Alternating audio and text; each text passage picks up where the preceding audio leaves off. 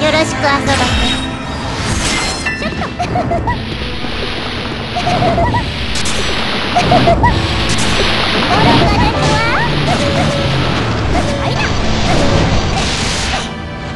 The messenger is standing at the gate,